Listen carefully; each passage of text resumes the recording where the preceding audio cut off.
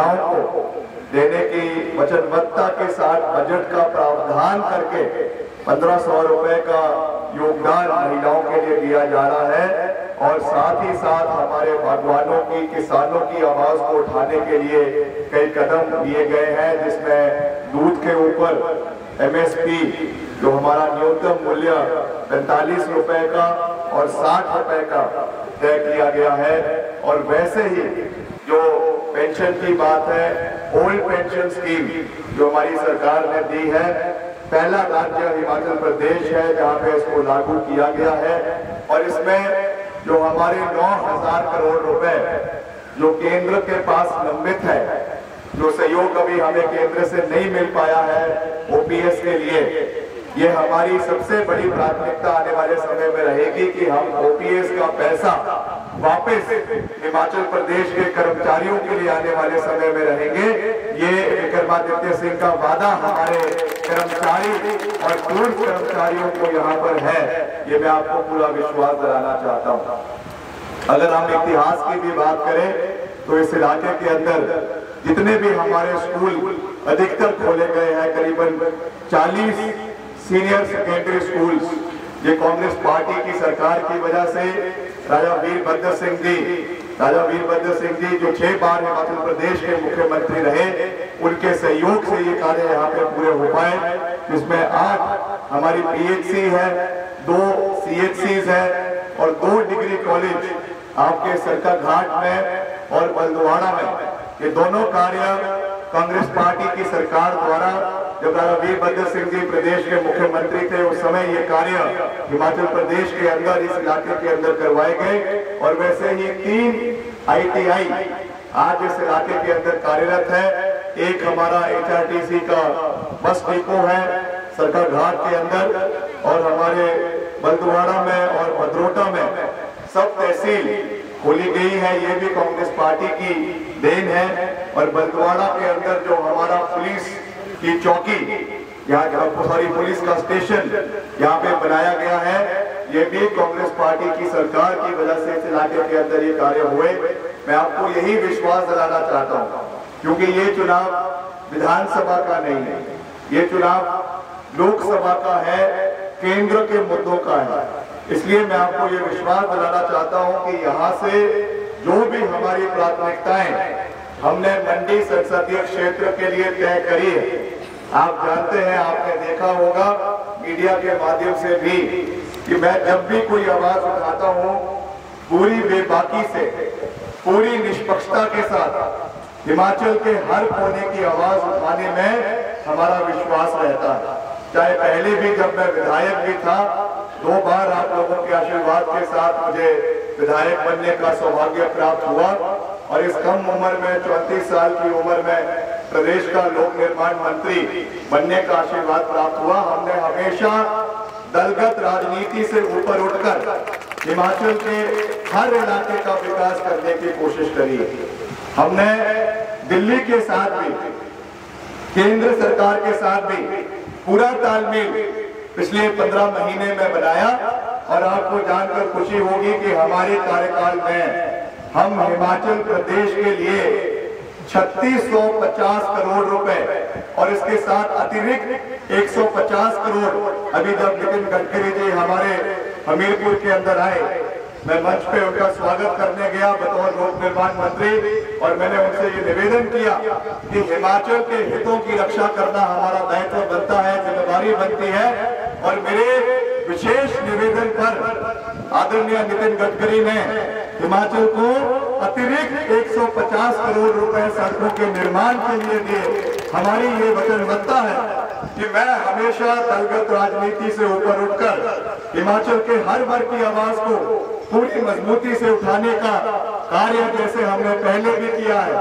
ये मेरा वादा है, मेरा संकल्प है कि यहाँ के मुद्दों को पूरी मजबूती से हम लोकसभा के अंदर उठाएँगे, जिसमें सबसे महत्वपूर्ण मुद्दा हमारे सेवानिवृत्त, जो हमारे एक्स सर्विसमैन है, फौज से रिटायर्ड हमारे साथी हैं, उनका वन रैंक वन पेंशन का मसला बड़े लंबे समय से पेंडिंग है, लंबित पड़ा हुआ है।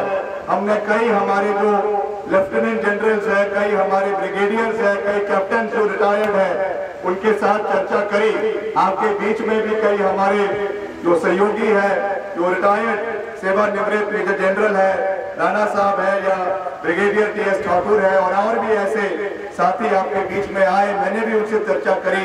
उन्होंने बताया कि अभी भी जो हमारा वन रैंक वन पेंशन है, वो पूरी तरीके से लागू नहीं हुआ है। ये विक्रमादित्य सिंह का वादा है कि आने वाले समय में वन रैंक, वन पेंशन की आवाज़ को हम पूरी मजबूती से केंद्र सरकार के समक्ष उठाएँगे। वैसे ही सरकार घाट में आने वाले समय में सीएसडी का डिपो बनाना, ये भी हमारी प्राथमिकता इस क्षेत्र के लिए आने वाले समय में रहेगी। और सैनिक अकेडमी का निर्माण जो यहाँ पे हो रहा है, उसको गति देना समय के ऊपर उसको पूरा करवाना, ये भी हमारी एक प्राथमिकता आने वाले समय में रहेगी। हमारी कांग्रेस पार्टी ने और इंडिया गठबंधन के सभी नेताओं ने ये निर्णय लिया है कि अग्निवीर योजना उसमें जिस तरीके से रिक्रूटमेंट हो रही थी, करीबन सवा लाख, दो लाख युवाओं के भविष्य को अंधकार में डालने का कार्य किया गया था जिस तरीके से तीन साल की नौकरी देकर 21 साल की उम्र में आपको फौज से सेवानिवृत्त कर दिया जाता है, रिटायर कर दिया जाता है। जब शादी की उम्र होती है तो शादी में जब आप अपना रिश्ता लेकर जाएँगे तो वहाँ पे कहना पड़ता है कि अभी मेरी रिटायरमेंट जो है वो पूरी हो गई है। इसलिए अग्निवीर योजना को जैसे ही हमारी सरकार बनेगी, पहला निर्णय हम अग्निवीर योजना को बंद करने का लेंगे। और जैसे पहले हमारी रिक्रूटमेंट होती थी, उस तरीके से रिक्रूटमेंट करवाई जाएगी। और जितने भी हमारे कैंडिडेट्स जिन्होंने अग्निवीर योजना के अंतर्गत अपने फॉर्म भरे हैं, जिन्होंने टेस्ट दिए हैं उनको पुराने पैटर्न के ऊपर उनकी भर्तियाँ भारतीय सेना के अंदर करवाई जाएगी। ये हमारे केंद्रीय नेतृत्व का निर्णय है, जिसे हम आने वाले समय में पूरा करेंगे। मैंने एक और विषय भी पीछे विधानसभा के अंदर भी उठाया था। आज भी उसको मैं उठा रहा हूँ, कई जगहों पे हमने इसके बारे में बात करी। आज सबसे ज़्यादा रिप्रेजेंटेशन अगर भारतीय सेना में किसी प्रदेश की है तो वो हिमाचल प्रदेश की है। ये कोई राजनीतिक मसला नहीं है। ये कोई पॉलिटिकल तरीके का एजेंडा नहीं है, मगर ये हमारा अधिकार बनता है। हमारे जो शहादत जिन वीर जवानों ने हिमाचल प्रदेश के लिए करी उनको नमन करते हुए और जो सैकड़ों सैनिक हमारी आज भी भारतीय सेना में हमारी सरहदों की रक्षा कर रहे हैं, उनको मद्देनजर रखते हुए विक्रमादित्य सिंह आने वाले समय में बतौर सांसद ये आवाज़ उठाएगा कि हिमाचल प्रदेश की आने वाले समय में भारतीय सेना के अंदर एक अलग पहचान होनी चाहिए ताकि मिलकर हम हिमाचल प्रदेश के हमारे सैनिकों का गौरव आने वाले समय में बढ़ाए। जैसे और राज्यों की रिप्रेजेंटेशन भारतीय सेना के अंदर है। हालाँकि हम जानते हैं कि जो रिक्रूटमेंट पैटर्न होता है वो, वो राज्य के हिसाब से नहीं होता है मगर फिर भी हिमाचल प्रदेश की अलग रिप्रेजेंटेशन भारतीय सेना के अंदर होनी चाहिए। इसका कॉरेस्पॉन्डेंट इसकी आवाज़ को हम पूरी मजबूती से आने वाले समय में जो है वो लोकसभा के अंदर उठाएँगे ताकि एक अलग रेजिमेंट एक अलग रेजिमेंट आने वाले समय में हिमाचल प्रदेश की रेस की जा सके। ये हमारी प्राथमिकता होगी और हमारी नमन जो हमारे वीर सपूत इस क्षेत्र के लिए है उनके लिए होगा, हमारे लिए गौरव की बात होगी कि हिमाचल प्रदेश, जहाँ पे सबसे ज़्यादा हमारे योद्धा रहते हैं, हमारे पूर्व सैनिक रहते हैं, वहाँ से एक अलग रेजिमेंट हमारे भारतीय सेना के अंदर हो, ये विषय राजनीति से जुड़ा हुआ नहीं है, मैंने कहा, मगर ये हमारे सबके स्वाभिमान से जुड़ा हुआ है। और विक्रमादित्य सिंह का ये वादा है कि इस विषय को मैं प्राथमिकता पे केंद्र सरकार के समक्ष आने वाले समय में उठाऊँगा। इसका मैं आपको पूरा विश्वास दिलाना चाहता हूँ। और इसके साथ साथ इलाके के अंदर हमने पूरा विजन पूरे मंडी संसदीय क्षेत्र का रखा है। चाहे उसमें हमारा मंडी शहर के अंदर स्मार्ट सिटी प्रोजेक्ट बनाने की बात है, हमने जैसे शिमला के अंदर और धर्मशाला के अंदर स्मार्ट सिटी प्रोजेक्ट बना है, अभी मैं प्रदेश का शहरी विकास मंत्री भी हूँ और हमने इसकी प्रक्रिया को भी शुरू किया है। मैं ये विश्वास दिलाना चाहता हूँ कि हम मंडी का जो हमारा प्रमुख केंद्र है, हमारा जिला मुख्यालय है, वहाँ पर स्मार्ट सिटी का प्रोजेक्ट आने वाले समय में लेकर आएँगे।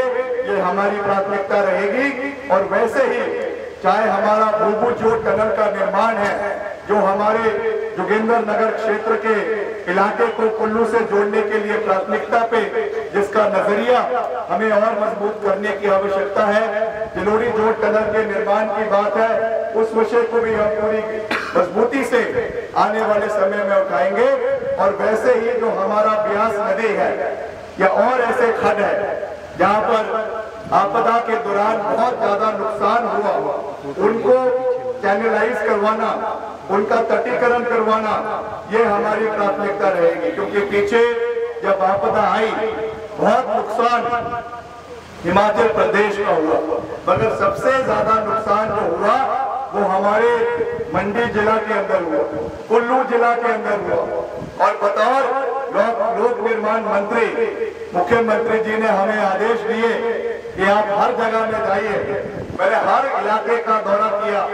चाहे वो आपका भामड़ा का इलाका यहाँ का है, चाहे वो आपके सरका घाट के और इलाके हैं, चाहे वो आपका सुंदर नगर का इलाका है पल का इलाका है, आपके खुनाक का इलाका है, थाची का इलाका है, कुल्लू मनाली का इलाका है, पतली कुल का इलाका है, बंजार का इलाका है, हर इलाके में हमने लोगों के साथ हम खड़े रहे, दिन रात लोगों के साथ खड़े रहे। और मैं आपको यही विश्वास दिलाना चाहता हूँ। कि हम पूरी मजबूती से आपकी आवाज़ को आने वाले समय में तो उठाएँगे, मगर आपके बेटे के नाते, आपके भाई के नाते, विक्रमादित्य सिंह, आपके सुखों में बेशक आपके साथ ना खड़ा हो, मगर जब कोई आपदा का समय आएगा, कोई दुख का समय आएगा, विक्रमादित्य सिंह कंधा से कंधा मिलाकर आप लोगों के साथ चलेगा, इसका मैं आपको पूरा विश्वास दिलाना चाहता हूँ। मेरे परिवार का, मेरे पिताजी का एक बहुत पुराना रिश्ता लोगों के साथ यहाँ पे रहा है। मैं आपको ये विश्वास दिलाता हूँ कि हम उसी तरीके से एक परिवार की तरह आगे बढ़ेंगे। आपके साथ बकायदा चर्चा आने वाले समय में करेंगे। जितने हमारे पंचायत के प्रतिनिधि है, हमारे एनजीओ के साथी है, हमारा एक बहुत बड़ा तबका यहाँ पे एक सर्विसमैन का है। उनके साथ भी मैं बैठकर आपके साथ हम चर्चा करेंगे, वार्तालाप करेंगे कि क्या और यहाँ के ऐसे मुद्दे हैं, क्या यहाँ के और ऐसे विषय हैं जिनके ऊपर हम मिलकर आने वाले समय में कार्य कर सकते हैं। चाहे वो प्रदेश सरकार के माध्यम से होने हैं, चाहे वो केंद्र सरकार के माध्यम से होने हैं। अगर हम विपक्ष में रहते हुए अगर विपक्ष में हमारी सरकार थी, दिल्ली में एनडीए सरकार थी, उसके बावजूद अगर हम पंद्रह महीने में आपके सहयोग के साथ अठाई जो है करीबन छत्तीस सौ पचास करोड़ रुपए हिमाचल के लिए ला सकते हैं तो निश्चित तौर से आपके आशीर्वाद के साथ जब हम यहाँ से जीत कर जाएँगे तो दिल्ली से बड़े बड़े प्रोजेक्ट मैं यहाँ के लिए आने वाले समय में लेकर आऊँगा। चाहे वो सीए स्टोर बनाने की बात है, चाहे वो फ़ूड प्रोसेसिंग प्लांट्स और यहाँ पे यूनिट्स लगाने की बात है, और इंडस्ट्रियल यूनिट्स यहाँ पे लगाने की बात है। हर तरीके से इलाके का कैसे हमने विस्तारीकरण करना है, चाहे वो एनएच के विस्तारीकरण की बात है, चाहे वो और सुविधाएँ जो हम ला सकते हैं, उनको हम लाने का हर संभव प्रयास करेंगे, इसका मैं आपको विश्वास दिलाना चाहता हूँ। अंत में मेरा आपसे यही निवेदन है कि आज क्षेत्रवाद की बातें हो रही है, आज इलाकावाद की बातें हो रही है, आज मंडी जिला को ये दुर्भाग्यपूर्ण है, मगर भाजपा के साथी आज अपनी हार को देखते हुए क्षेत्रवाद की राजनीति मंडी के अंदर फैलाने की कोशिश कर रहे हैं। आज कहा जा रहा है कि सरका घाट की बेटी है, मंडी की बेटी है। मैं उनको कहना चाहूँगा, हम ना सरका घाट के बेटे हैं, ना मंडी के बेटे हैं, ना रामपुर के बेटे हैं। विक्रमादित्य सिंह हिमाचल प्रदेश का बेटा है हिमाचल प्रदेश का हर शाखा हमारे लिए बराबर है। हम कभी भी क्षेत्रवाद का जहर इलाके के अंदर नहीं फैला सकते। मेरे लिए जितना प्यार हमें सरकार घाट के लोगों से है, उतना ही प्यार किन्नौर, टांगी और लाहौल स्पीति के लोगों से। और हर इलाके का हम समान विकास करेंगे। इसको हमने दर्शाया हमारी सरकारों ने, चाहे वर्तमान हमारे मुख्यमंत्री ठाकुर सुखविंदर सिंह सुखू जी है, चाहे राजा वीरभद्र सिंह जी जो 22 साल हिमाचल प्रदेश के मुख्यमंत्री रहे उन्होंने हिमाचल का सम्मान विकास किया। जितना काम सरकाघाट के अंदर हुआ, उतना ही काम पानी भरमौर के अंदर भी हुआ। उतना ही उतना ही कार्य किन्नौर के अंदर भी हुआ। आज अगर मेडिकल कॉलेज हमारे नेर चौक के अंदर खुला ढाई हज़ार करोड़ रुपए की लागत से खुला है तो जब वीरभद्र सिंह जी हमारे सांसद थे, केंद्रीय मंत्री थे इस्पात मंत्री थे, उस समय डॉक्टर मनमोहन सिंह जी ने इसका सैंक्शन करवाया और आज मंडी जिला के अंदर ये कार्य हमको देखने को मिला। वैसे ही Indian Institute of Technology IIT आपके कमांड पटोला के अंदर खुली सात हज़ार करोड़ रुपए का ये इंस्टीट्यूट बनकर तैयार हुआ। आज आदरणीय जयराम जी और जो यहाँ की मोहतरमा है, वैसे मैं उनको यहाँ का नहीं कहूँगा, वो तो मुंबई की है, मगर मैं ये ज़रूर पूछूँगा उनसे कि वो हमसे सवाल कर रही है कि आपने क्या किया। हमने इंडियन इंस्टीट्यूट ऑफ़ टेक्नोलॉजी सात हज़ार करोड़ रुपए का बनाया। हमने मेडिकल कॉलेज बनाया। हमने मंडी जिला के लिए सेंट्रल जोन पीडब्ल्यूडी का आईपीएच का, बिजली बोर्ड का करवाया। आज सारे चीफ इंजीनियर्स मंडी जिला के अंदर बैठते हैं। आज अगर हमारे सरकार घाट में मैंने बात करी, सारे स्कूल अस्पताल, यहाँ के कॉलेजेस आई कांग्रेस पार्टी की देन है। आपने इलाके में क्या किया? आप एक बहुत बड़ी अभिनेत्री हैं हम उसका मान सम्मान करते हैं। अच्छी बात है आपने मुंबई में फ़िल्म फ़िल्में करी है मगर आप, आपका काम जो है वो फ़िल्में बनाना ही है। आपका काम राजनीति नहीं आज वो जाकर लोगों से मत तो मांग रही है मगर क्या गारंटी है कि कल आपके साथ वो खड़ी होंगी? जब समय था सबसे बड़ा आपदा का दौर आया। क्या मुंबई की बेटी आपके बीच में खड़ी थी या नहीं थी? ये आज एक बहुत बड़ा प्रश्न है। वो कहती है कि मैं उस समय राजनीति में नहीं थी। अरे, अगर आपको अपने लोगों का दुख, दर्द बांधना है, उसके लिए आपको राजनीति में होने की आवश्यकता नहीं पड़ती। आप अपने परिवार के साथ कभी भी खड़े हो सकते हैं। चाहे राजनीति में है, चाहे नहीं है, चाहे पक्ष में है, चाहे विपक्ष में है। मगर आप एक दिन भी सरकार के लोगों के आँसू पहुँचने के लिए आप यहाँ पर नहीं आए। विक्रमादित्य सिंह आपके बीच में आए। हमारे प्रदेश के माननीय मुख्यमंत्री ठाकुर सुखविंदर सिंह सुखू जी दो दिन लगातार सरकार घाट के लोगों के साथ खड़े रहे। प्रतिभा सिंह जी ने लगातार यहाँ का दौरा बतौर सांसद किया और हर सहयोग यहाँ के लोगों को दिया। अभी पवन जी ने बताया कि किस तरीके से एक लाख से बढ़ाकर साढ़े सात लाख रुपए प्रति परिवार जो है वो प्रभावित परिवारों को पैसा देने का निर्णय मुख्यमंत्री जी ने किया। ये संवेदनशीलता होती है, ये दर्द होता है। और अभी भी मोहतरमा कहती है कि मेरी तो अभी भी फ़िल्में बाकी है, अभी भी मेरे पिक्चर बाकी है। मैंने वापस मुंबई चले जाना है। अगर आपने मुंबई चले जाना है तो यहाँ पर कार्य कौन करेगा? ये निर्णय आप लोगों ने लेना है। हमने कई चुनाव लड़े हैं मेरे परिवार में। जीते भी हैं और हारे भी हैं। मगर मैदान छोड़कर कभी नहीं भागे। हमेशा साथ खड़े रहे।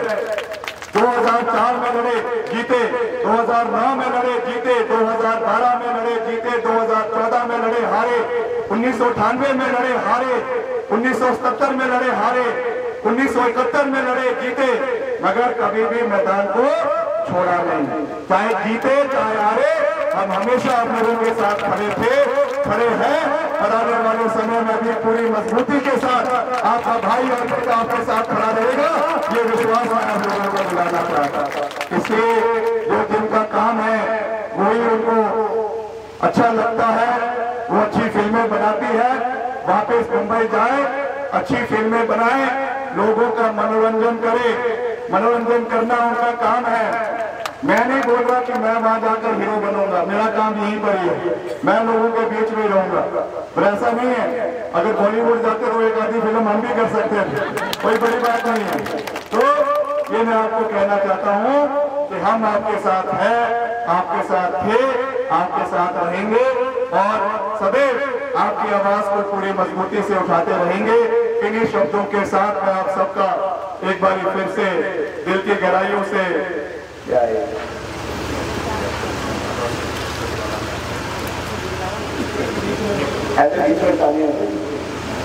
जो भी यहाँ के और स्थानीय मुद्दे हैं, जो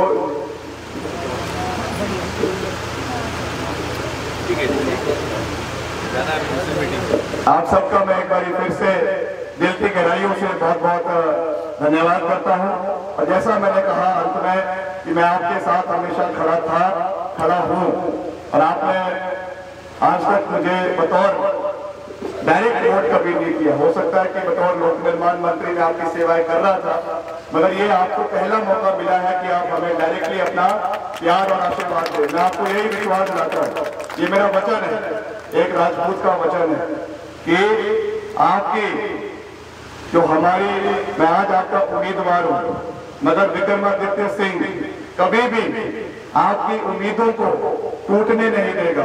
हमेशा आपकी उम्मीदों पर खड़ा रहेगा। ये मेरा वचन आप लोगों को है। और मिलकर हम आगे बढ़ेंगे। इन्हीं शब्दों के साथ आप सबका मैं एक बार फिर से दिल की गहराइयों से बहुत बहुत धन्यवाद करता हूँ। एक नारा मैं अंत में दूँगा। आप सबने दोनों हाथ खड़ा करके समर्थन करना है। हाथली मैं कहूँगा हाथली की जनता को। आप दोनों हाथ बढ़ा करके कहेंगे, जय श्री राम। हाथली की जनता को। ज़ोर से। ज़ोर थोड़ा काम कर रहे हैं। हाथली की जनता को। हाथली की जनता को। हाथली की जनता को। जय हिंद, जय महात्मा।